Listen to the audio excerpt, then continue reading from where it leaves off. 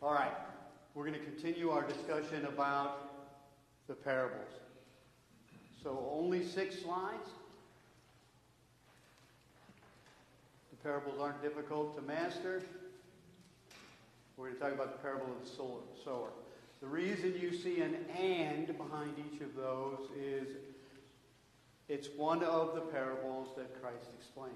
He gives us his answer for what the parable means. What we're going to discuss is how that applies to the church and then us as individuals. Mentioned in all three of the Synoptic Gospels Matthew 13, Mark 4, and Luke 8. Of course, in, in Matthew and Mark, this starts the beginning of a chapter that is all parables, essentially.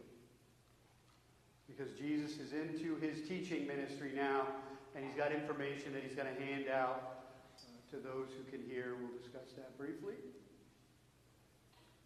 And then he's got to move on to other things in his ministry. So he's handing out a lot of information to the public at large and to the disciples in private. And he's doing that through parables. And we discussed the why of that last week. So, Matthew 13, 3 through 8. Then he told them many things in parables, saying, A farmer went out to sow his seed, and as he was scattering the seed, some fell along the path, and the birds came up and ate it up. Some fell on rocky places where it did not have much soil. It sprang up quickly because the soil was shallow. But when the sun came up, the plants were scorched and they withered because they had no root. Other seed fell among thorns, which grew up and choked the plants. Still other seed fell on good soil where it produced a crop, a hundred, sixty, or thirty times what was sown. Now, background for, for each of these teachings. Christ has done some miracles in the surrounding area. He's moved back away from uh, society for a little while, and he is in two of the Gospels gathered on a beach on a particular morning, and the crowds gather, as they are now wont to do wherever Christ makes himself visible and available. So he hops in a small boat, gets a little bit offshore, uh, where he can teach more than if they were simply crowding around him and his voice was lost. And then he gives them this parable. Very similar in Mark 4 3 through 8. Listen, a farmer went out to sow his seed. As he was scattering the seed, some fell along the path, and the birds came and ate it up.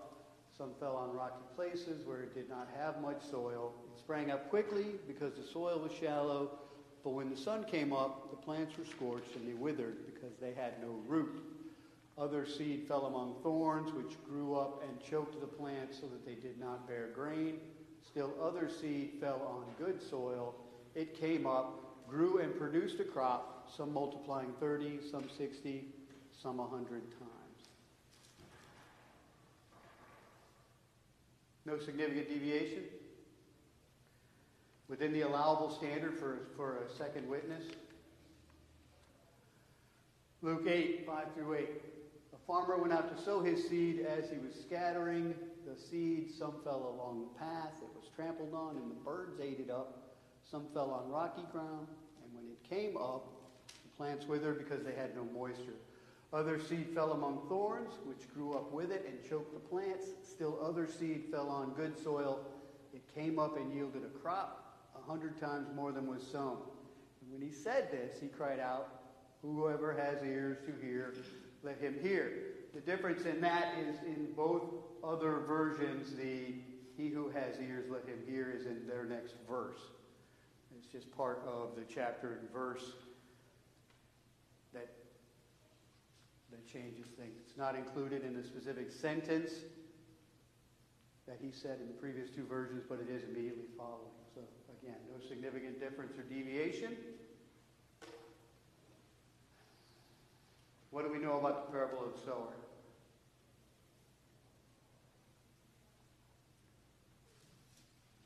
We're in Kansas. How many of us know a farmer? How many of us know of farmers? Right? All of us?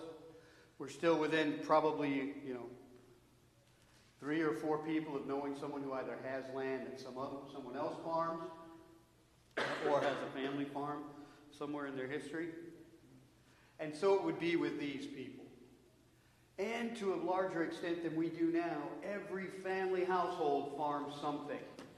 If you've got spices in your house that are not exotic, you know, the general spices that we use, mint, sage, thyme, those are probably grown in your house. Hanging baskets are great. You know, pots just set on the windowsill are great. But it's much easier to do a little bit of farming on our own as a community than it is to worry about what's not grown generally in large size. So everyone's familiar with the concept of farming. Right? You plow the ground, you scatter the seed once, you plow the ground again. Any of the land in between the rows that you walk upon is packed, and the rest is in God's hands to grow. That's how farming works, right? Doesn't always work out great. Just ask Laura Ingalls Wilder's father.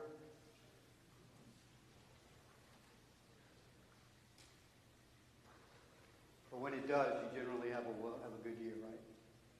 All right. So, before we hear why Christ or what Christ says it means, anyone want to take a stab at it? Or what he means here? Mm-hmm. He's speaking of the kingdom, the church, Christ's church. How about the Word? The word, He's not speaking about the church. The church doesn't exist yet. the kingdom, Fair, but but and I'm not I'm not stuck on it. I'm just saying the kingdom has different meanings to different groups and cultures. Because he hasn't yet mentioned the kingdom of God in any of his teachings. He's trying to introduce it, and it's coming later in the chapter. He's specifically talking about what he is saying to people, I think. He's describing the ministry, our ministry and his. Say that last part again. Uh, he's describing the ministry, ours and his. Okay. and maybe it's, maybe it's more what's to come. He's preparing them for what he's, what's to come, and be warned, because if this is how you receive it, if you reject it, if you whatever, if you don't hear it, then you won't be successful. Yeah, he's talking about the world at large in relation to the word that he's trying to share. And those are pretty close to his words on it. So we're going to look at Matthew 13, 18 through 23, Matthew 4, or Mark 4, 14 through 20, and then Luke 8, 11 through 15. This is Christ explaining the parable he's given at a later time to the apostles. This is what he says it means. So he says, Listen then to the parable to what the parable of the sower means. When anyone hears the message about the kingdom and does not understand it, the evil one comes and snatches away what is sown in their heart. This is the seed sown along the path. The seed falling on rocky ground refers to someone who hears the word and at once receives it with joy. But since they have no root, they last only a short time. When trouble or persecution comes because of the word, they quickly fall away. The seed falling among the thorns refers to someone who hears the word, but the worries of this life and the deceitfulness of the wealth choke of wealth choke the word, making it unfruitful. But the seed falling on good soil refers to someone who hears the word and understands it. This is the one who produces a crop, yielding 160 or 30 times what was sown. So there you go, the word kingdom's in there. So I, I retract. All right, Mark. Sir. I'd just like to point out that not only do they need to understand it, but they need to receive it. Is that in there? Hey, what just happened? The one who receives, That's right, it wasn't received. Did I All right, miss we that? burned through like the last week's.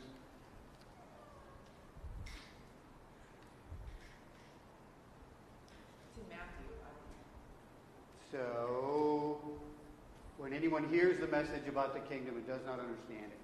So, yeah, he says that. Well, I'm, I'm 23. referring to like the last part where it says that the seed falling on good soil refers to someone who hears the word and understands. I've, I've studied with many people that, that like clearly understand what they need to do, but for whatever reason, they're not willing to give up their family or Yeah. Well, it, God invades the heart, but not the will. You still have to make the decision. Right, there's a decision that has to be made, and that's a large part of the discussion we're going to have here in just a few minutes. Uh, because there are two discussions to be had about most parables, I think. The outside one, that involves us and our work, and then the inside one, for how that works for you. And I was just gonna, as we, we were reading it in the beginning, I was thinking about our parenting class on Wednesday night, and, and how we often talk about being deliberate with our children. And even this is, a farmer is deliberate about how he plants and the things he does. And so I think there's some deliberate choices, Yeah, so. we're going to get there. Okay, so two, two parts of back on that, but also the farmer thing. Farmer thing fails today because we use the planter, in that day, they just walked across the field, just tossing it out. Okay. It was a hand spread like grass, so this makes sense where it doesn't quite follow today's farming. But with what I think where Brandon might have been going was that you could throw it in good soil, but look at the retention rate of youth today. That would have been your good soil at point. Oh, we gave it to the, you, you had all these kids and people that are in church and had a good relationship, but they're not staying, they're falling away. But you're bringing in people that, thorny, that were out in the world in a bad place. It's that next part that goes with that that isn't really talked about, is there's a transplant. You can take that transplant that was in a thorn, starts you're spreading the seed in a thorny area, but it has to be transplanted into good soil. It has to leave the thorny area. It has to leave the rocky outcrops. Or it has to choke them out. Like I, I make my own soil. I was at, I was definitely born in thorny soil. Yeah. I have choked out all my weeds and I've broken all my rocks, and now I'm good got- soil. Yeah, you've got to prune it. Yeah. clean that area that you're in, but you can't survive on it.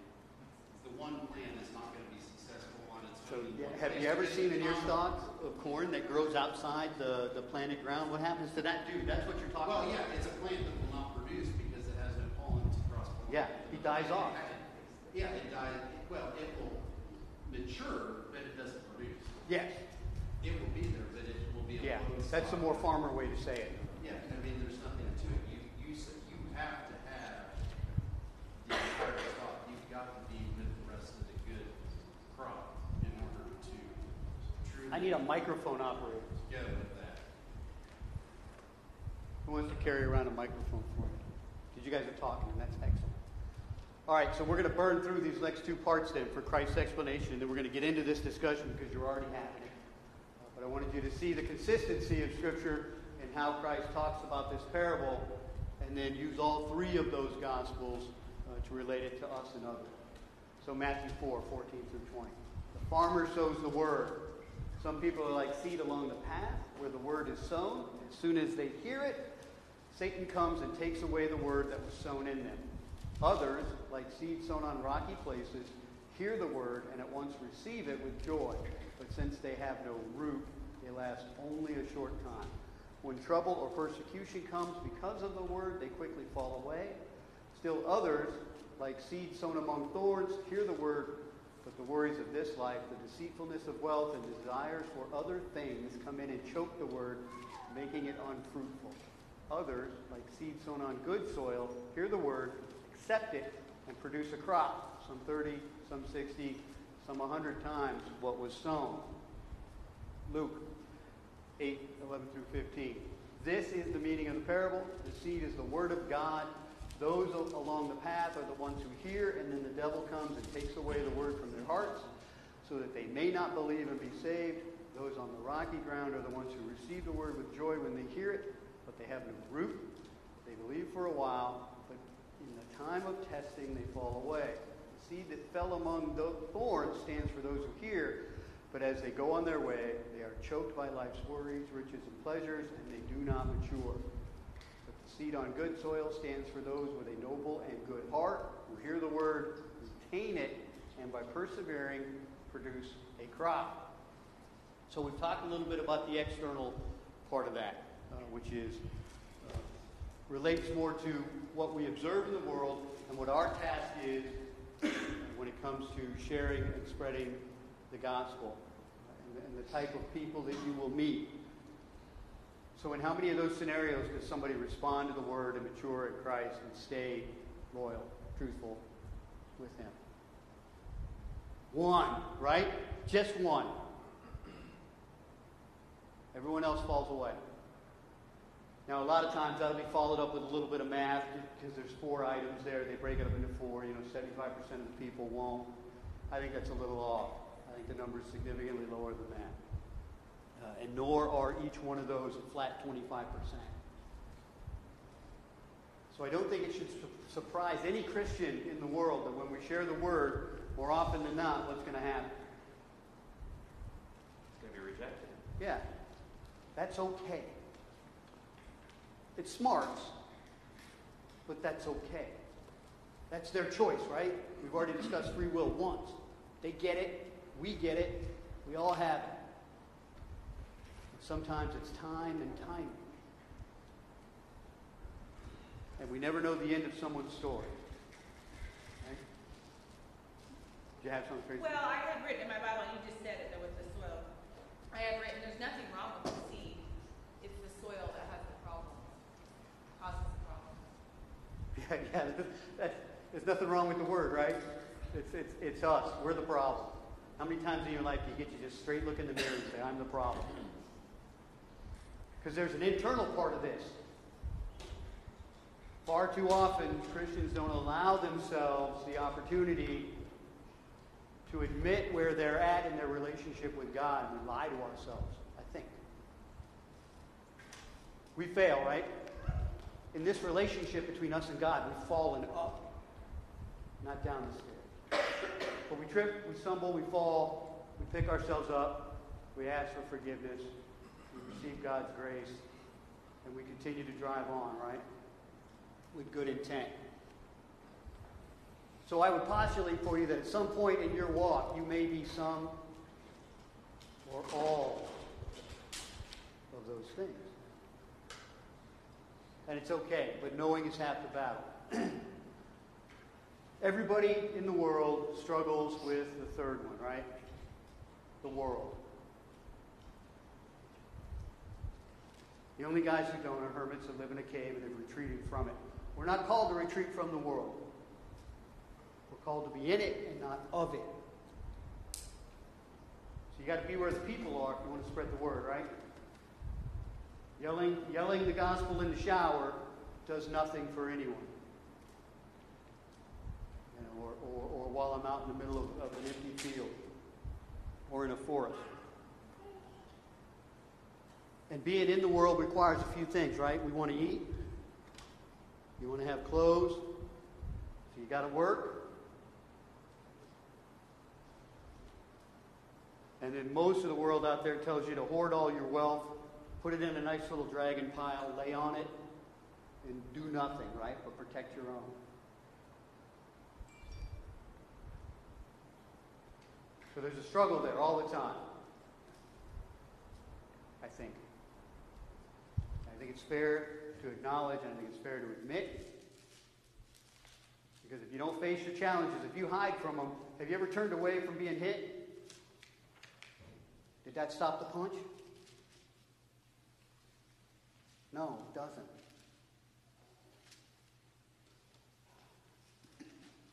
And there was probably at some point in your life where you were certainly the first one when you were young, or maybe, maybe the second.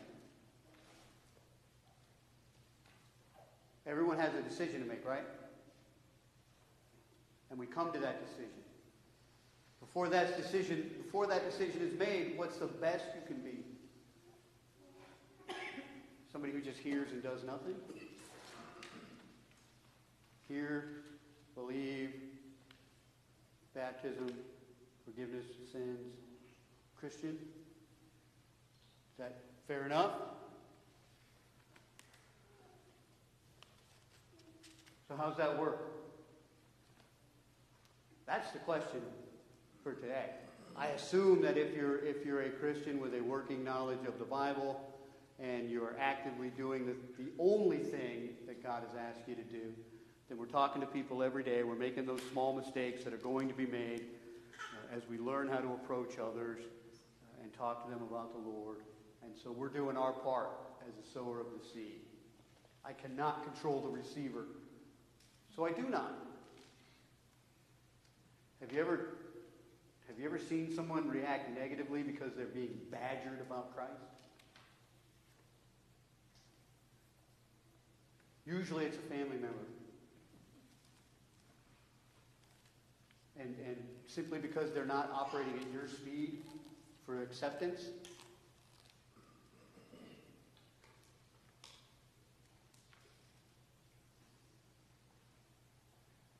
we ought not do that to them. I'll just say that.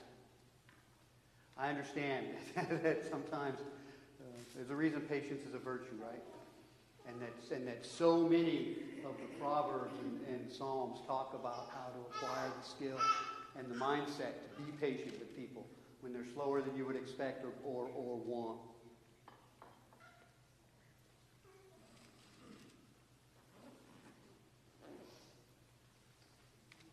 If we think about current times, getting, relating, especially COVID has been a great, the great blessing and curse to, to a lot of things. Where we've been and where things are at politically and morally, I mean, you could take the, you know, the seed that just withers up and dies. I mean, you look at a lot of everybody that caved in during COVID and said, we're just going to close the churches and everything else and go, you know, we're not going to hand it over to God and let Him take care of us. And we're just going to shudder and give in to everybody. You've got that. And when things opened up, you got everybody that's like, yeah, and they found the happiest place to go, you know, find the biggest praise band and live music, or we're going to watch the 20,000 crazy stampede down in Tech, one of those churches, or whatever, into that second of finding that joy. They finds it. How did they receives it with joy? So they're ha- oh yeah, we're happy we're in, but you know didn't really do anything about it. We caved. In, we made it past the first part, and then you've got the thorn. I mean, you look at the transitions that we've had. I mean, you know, just think about since you know probably six years ago, you drive by that church at the corner here. Um, I mean, it's half they're half, they're half full because they made a big decision. That that group decided to change who and what they're allowed to pulpit and who they're supporting with regards to those people's life decisions. And you know, that's a big part of where that thorny thing is coming in. You know, you look at most churches and it, even just here in town. I mean, things have inf- infiltrated, and um, you're seeing that. And then you've got um, your last group where they, you've got a good cohort of believers that are sticking together and holding true to each other and supporting each other in that good soil. Just you know, the modern look of where we are in the last few years, you can take that same way. Um, but I always like these agrarian things, agrarian examples, but it's hard, always hard for us to relate because they're talking about barley, which will sprout on anything, not like with grass seed. You throw grass seed out on the rock, it will never sprout, but barley will. It will sprout and it'll grow up a little bit, you'll get greens. And so, in our imagination of these things, sometimes it's hard to fully comprehend it without some of that base knowledge or taking it and going, well, let's apply it to something else and go, well, what's the barren? What's the joyful? What's the thorns? And giving it a different connotation of Yeah, our current life's examples. right? Yeah, All things you- change. it's not it's not the same concept. anymore. Yeah, but I, I, I, I'm gonna, I'm gonna walk through, uh, the, the things that you talked about. You, you went full circle on everything that's in the parable. And so we're gonna walk through some of that a little bit. So how many of us know someone who has, who has fallen away? And I hate that term. I prefer walked away from God. And so I should see almost all of our hands. Um, and there are a lot of ways to describe it. We don't have to get into each one of those. Um, but there's a, there's a lot of ways to do it. And, and you're right. I think that the number one gainer of Christians in the world during COVID was the living room couch. And I think they're still there. And, and, and if you've ever fallen into a binge watching frenzy, then you know that, that a couch is a hard thing to escape. And once it takes over a portion of time in your life, it's loath to give it up. And it takes a little bit of discipline. And so, while I, while I think it's okay for people to get scared, I think that, that your faith requires a little bit of courage and, and, and a little bit of faith. How about a lot of faith? We'll modify that. Um, and, a, and a willingness. Uh, I hesitate to say this because I don't want people to think that, that I'm, I'm jumping on bandwagons. I'm not. But a little bit of willingness to put yourself in harm's risk for the Lord, not for anything else. Not for anybody's pet project, not for anybody's pet ministry, but for the Lord Himself. And so, you're right. Um, where, where do they fall in with that? Is that another worldliness issue? We've, I- and, and I know, and, and like you said about our children, I know, I know plenty of, of Christians in the world who have children who have, for whatever reason, hesitated, waited, denied, said no.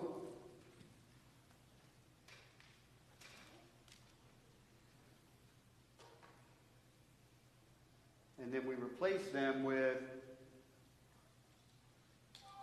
people who, that's, that's, a, that's poor terminology on my part. I'll, say it differently. Uh, we forget them. But then we seem to be growing the body more with people who have all of the trouble and turmoils in their life that, that people who are desperate for the Lord have always had.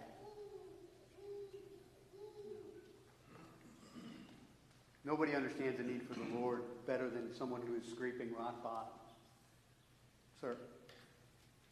Don't we think as we start our journey, we all fall into all of those groups? I think so. I Along think the so. path, thorny sides, worries, all of those things. And As we get more towards my age, we get down where hopefully it's in good, good soil and it'll stay. Right, and I think, I think that Stay age growing. facilitates the entire process, because there comes a time where, where we, we finally just. But the lean on point, Lord and point of rest. it all I is, think. is that there's always hope.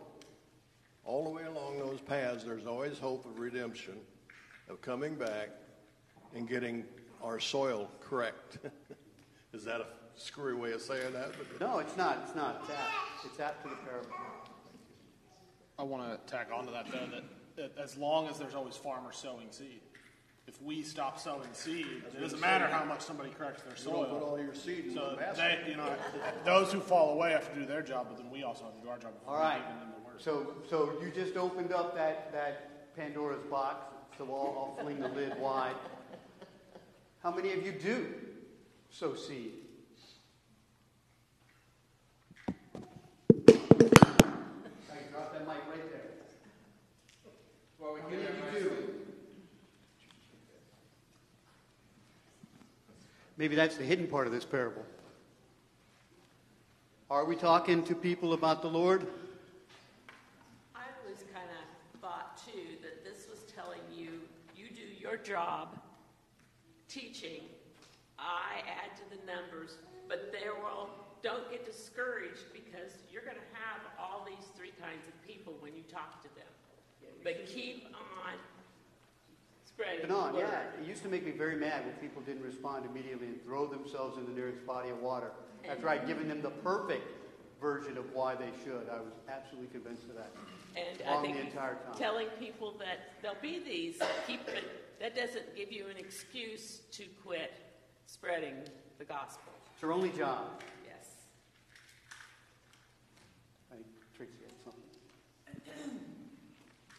Well, I, I remember, uh, you know, because I didn't work outside the home and stay in the home and feeling, and raising my children, feeling inadequate, not having a degree, being educated, that kind of thing. And um, at one point, it finally dawned on me that my family, my children were my ministry. And so I was sowing the seed. When you're a parent, you're sowing the seed beginning with your children first. And then I think then you go outside and, and spread from there. But if you don't take care of your own family, right? Who better to practice on than a blank slate? Probably the most infuriating thing ever. I, to add on to that though, I think taking care of your own family and your kids is also taking care of your kids and family within the church, like helping them grow those relationships with Yes. other kids at community. church, their church family, that kind of thing. And, and don't get that twisted. I don't mean that every second of your life has to be spent publicly harassing people to Christ. I've never seen that work.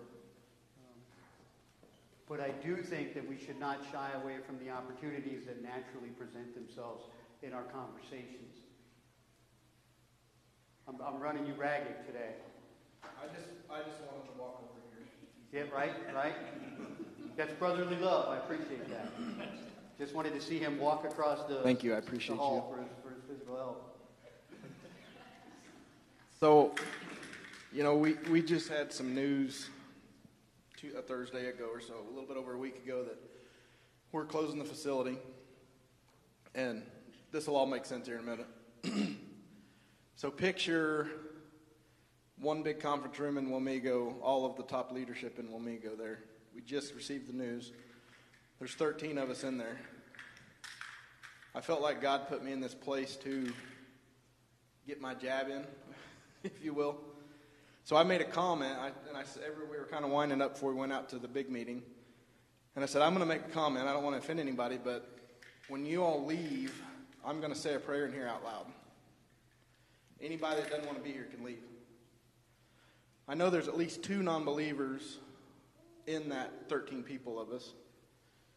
Nobody object, objected. All of them stayed as I prayed. And it's kind of emotional to me because there was word got around the entire facility. I've had multiple people come up to me and tell me thank you, thank you for doing that. People that weren't even there in that room, and that's powerful stuff. If I mean, I was saying a prayer and a prayer and a prayer to to allow God to make me speak up to do this, and I'm so glad, and I want to share it with people because I hope it encourages you when you're in that position. It's right there. Take it.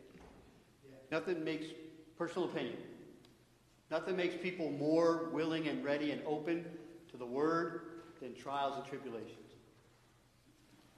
Sometimes I think that's why we live in a world that's constantly testing everything and everyone around it. And so I, I enjoy it. I'm, I'm, not, I'm, not, I'm not a chaos agent. I'm not going to go on and, and help make any. But I certainly see the advantage to God when it comes to how we operate as people to seek his shelter in a storm. So I don't mind it. Don't mind when the whole world just seems to spin on its axis a little too fast and a little too wobbly and everything's just kind of going crazy. Um, so yeah, that. That's getting them ready, I think. And, and it may be a little farther down the line that somebody, you or, or others, will get the opportunity to talk to them about Christ because they know there are people out there thinking about them. And isn't that what everyone wants? On a human interaction level? To know that you're enough in somebody else's heart to be thought of? So, yes, I think we have a task. I think that all the parables come with a little bit of responsibility when you understand them. Certainly did for the disciples. Cost all but one of them their lives. And so, Christ isn't running around, you know, Israel just saying this stuff. It's not, it's not a TED talk on, on what you could do. He's telling us the way he and the Father explicitly and specifically see the world and our task in it.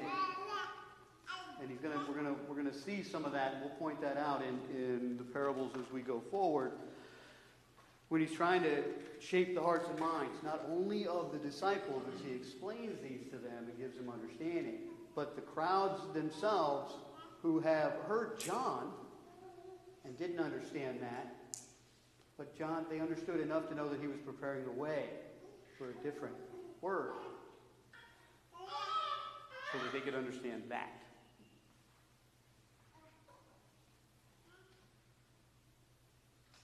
Any other thoughts on the parable of the sower.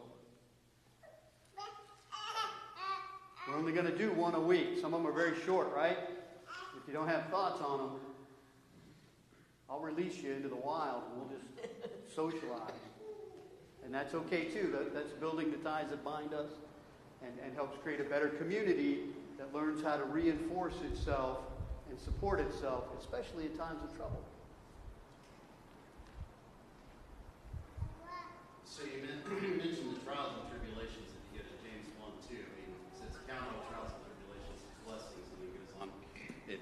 Wisdom, ask for it, and several of the other things. I mean, you add that into that, it's like what also makes a good crop that produces that if you always, if you're getting seed from something that has never been tested, it's never going to be continue to produce on and on and on and have have good things. always You- prepare the ground, don't we? Yes, we you want, the ground is prepared, but also that testing of drought and flooding and weeds coming in and being pushed back by, by the crop itself. I mean, that's what makes the crop stronger. So there's that part of that too, is that trial and tribulation does produce strength because if it's never been tested, I think Manhattan is tough ground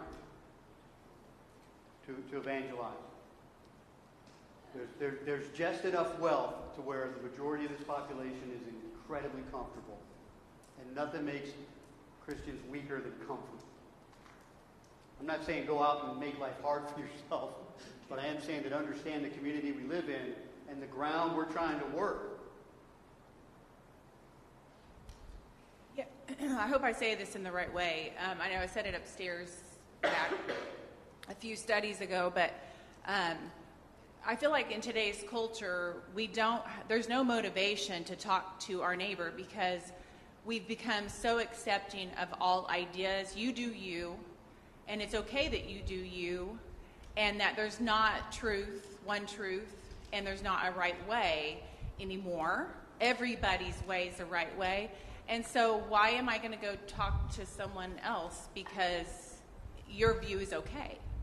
And so, we've become so, I don't know, just so accepting of all other viewpoints that we don't we don't narrow that down anyway in, anymore. The pendulum has swung far this direction, I guess.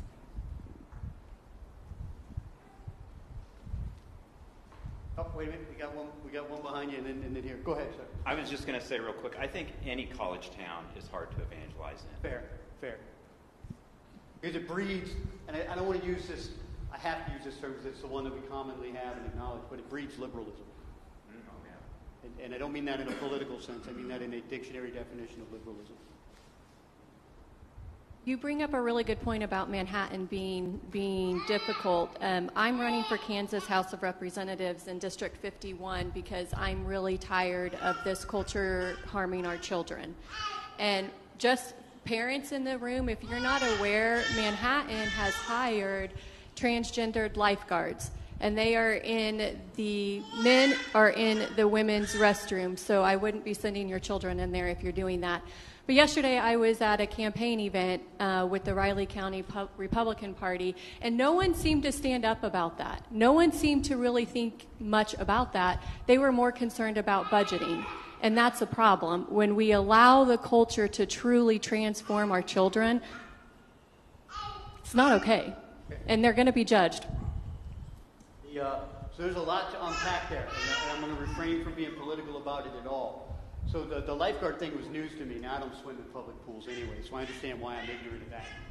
Um, but but I think the, the the issue has always been whether or not we legislate or educate morals. I'm not sure we can legislate morals. I think that's always failed. But we should be, I absolutely believe we should be educating them. But you also have to stand. Yeah. Yes, we have to stand as Christians, even if that means we die. Correct. And so there's, uh, yeah, so please don't take that the, the wrong way. There's absolutely no fault in you standing in any House of Representatives and saying, I'm a Christian. And, and, and I don't know that I accept what you're doing right there. And then we're going to vote, and I'm going to, we're going to, we're going to choose. But sometimes just stating our position is enough for others to gather courage and stand with us. And so, and, and you're right, there's probably not enough of that anywhere in the world right now because of what Tracy was talking about. By the way, the most important part there was that she's running in District 51. So, Vote. Is that our? Yeah, vote. Please vote. I don't. I don't. I don't care who you vote for, but if you consider yourself an American, you better exercise that right of franchise. That's the most political you'll ever hear me get up here. I apologize for it, but I do believe in exercising the right of franchise to vote. I don't care how you vote. I'm not going to ask. I truly don't care. Back to that, if I can figure out a way there. Um, yeah, society's weird. And it's getting weirder. Nothing to be afraid of. Embrace it. I don't mean become part of it. I mean that that that gives us reason to go out. If that's giving anyone in the world any angst or anxiety, what's that doing for them as, we have discussed in here toward a readiness and a willingness and a capability to hear and understand the word? I hope it's making them fertile.